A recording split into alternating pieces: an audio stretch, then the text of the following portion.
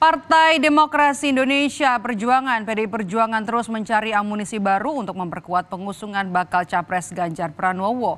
Lalu siapa lagi yang dirayu partai berlambang banteng moncong putih ini? Momen ini terjadi saat HUT ke-78 TNI di kawasan Monas, Jakarta. Presiden kelima RI sekaligus Ketua Umum PDI Perjuangan Megawati Soekarno Putri didampingi putrinya yang juga Ketua DPP PDI Perjuangan Puan Maharani. Dalam rombongan ada Wakil Presiden ke-10 dan ke-12 Yusuf Kala. Kebersamaan Mega, Puan, dan JK seolah melanjutkan keakraban PDI dan JK saat Puan Maharani mengunjungi kediaman tokoh senior Partai Golkar itu Rabu siang. Berbatik kuning, Puan menyambangi kediaman Yusuf Kala. Puan dan JK pun berbagi keakraban di depan media.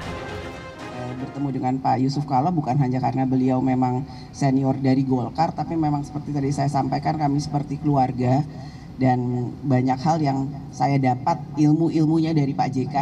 Tadi saya tanya Pak, terus terang saya menanyakan apa pandangan Bapak tentang politik terkini misalnya gitu. Beliau menyampaikan secara gamblang, panjang dan ya itu menjadi masukan buat saya yang masih banyak harus belajar di dunia perpolitikan ini.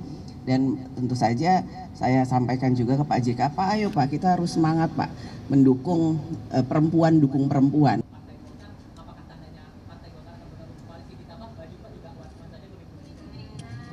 Itu tanda-tanda mungkin ya itu tanyanya ke Mas Erlangga ketua umumnya bukan saya yang harus menjawab itu Pilpres, ya tentulah masa tidak disinggung Pilpres. Ya, saya kan bilang semuanya optimis, semua ada kesempatan. Uh, PDP atau uh, Ganjar punya kesempatan, Pak Prabowo punya kesempatan, Anies punya kesempatan. Bergabung apa? Ada partai koalisi yang bisa dan kemudian Oh, itu tanya sama Erlangga itu. Mendukung Pak Ganjar. Tanya, tanya Erlangga lah. Saya saya tidak tahu itu. Kalau dulu saya ketua Golkar saya akan jawab. Iya, kunci koalisi PDIP Golkar ada di Ketua Umum Golkar Erlangga Hartarto. Saat ini, Partai Golkar sudah membangun koalisi bernama Koalisi Indonesia Maju bersama Partai Gerindra, Partai Amanat Nasional, dan Partai Demokrat. Koalisi Indonesia Maju sepakat mengusung Prabowo Subianto sebagai bakal capres. Safari politik Puan tidak berhenti sampai Golkar. Kamis siang, Puan Maharani bertemu Ketua Umum Partai Solidaritas Indonesia, Kaisang Pangarep, di kawasan Menteng, Jakarta Pusat. Ketemu Ibu Megawati, tapi katanya harus ketemu Ibu Puan dulu. Bagaimana tanggapannya? Pokoknya dari kami kemarin